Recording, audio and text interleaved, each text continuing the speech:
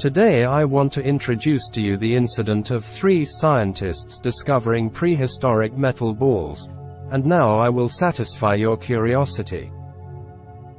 Many people believe that humans have existed on the Earth for less than 5 million years, and modern humans evolved from apes. However, when more and more prehistoric civilizations have been unearthed, people can't help but ask, when did the emergence of human beings begin? Where did human beings come from? As a result, many alien lovers and scientists have speculated that alien intelligent life had landed on the Earth before history, and has never stopped observing and exploring the Earth. Some even believe that humans are descended from aliens. However, None of these conjectures can find convincing evidence. However, as one after another surprising prehistoric objects were discovered, people had to think about when the earliest humans originated. In the tropical jungle of Chile, someone saw a metal ball with a diameter of about 1 meter and a weight of 3 tons. But what puzzles scientists is that the composition of this metal ball is a compound, which is still unknown to humans. Moreover, the surface of the metal ball is very smooth. No matter whether it is burned with fire, etched with acid, or cut with metal, it cannot be affected.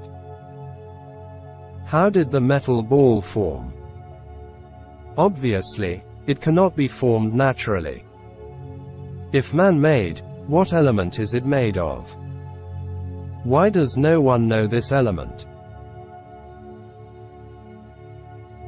Dr. Ramos Tajek, president of the Chilean Academy of Sciences, believes that the metal balls are intentionally left by representatives of extraterrestrial civilizations. They may have visited the Earth in ancient times, and they may also visit the Earth in modern times if it is really what Dr. Ramos Tajek thinks.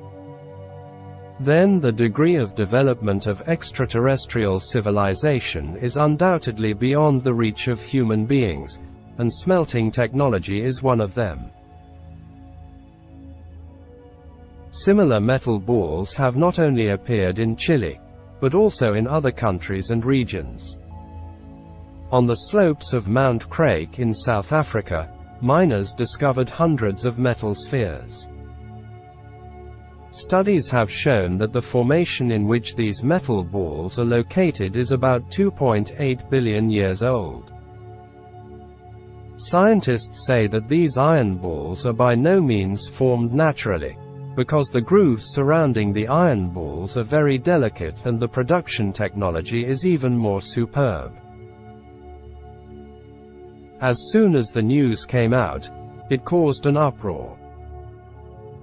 Coincidentally, similar objects have also appeared in India.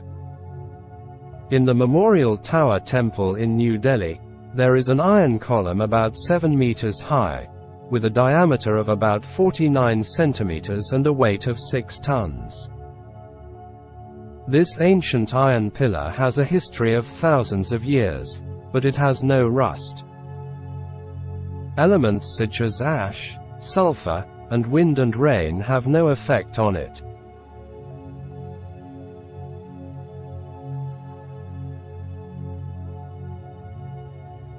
After studying the composition of this iron pillar, scientists found that the reason why the iron pillar is not corroded is that 99.72% of its composition is extremely high purity smelting iron.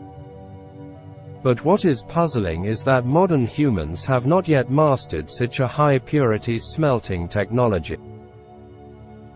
Not only are various prehistoric things reminiscent of the arrival of aliens, some people also believe that aliens once settled on the Earth and created a highly developed civilization. Archaeologist Lian Gao once proposed that the residents of Atlantis were aliens. Atlantis was first described by the Greek philosopher Plato. It is an island located in the Atlantic Ocean. The inhabitants of the island have created many civilizations. However, due to the lack of literature support, the exact location of Atlantis is still uncertain.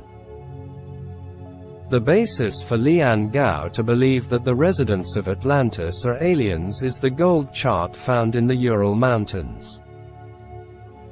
Inscribed with cryptographic symbols, these charts mark the path from southern Egypt to the tombs of Atlantis emperors. The map roughly marks the location of the tombs of the founding emperor and the last emperor.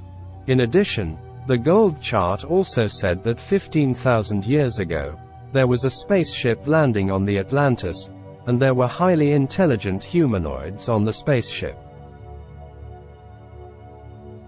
For those civilization data that existed in prehistoric times, scientists infer that they came from alien civilizations. These aliens may have set foot on the Earth, may have stayed for a while, may have lived on the Earth for a while, and left some sporadic evidence at the same time. If this inference is correct, maybe one day, alien civilizations will visit the Earth again. If one day you see aliens visit the Earth, will you receive them kindly? Welcome to leave a message to tell me the answer. Today's show is here.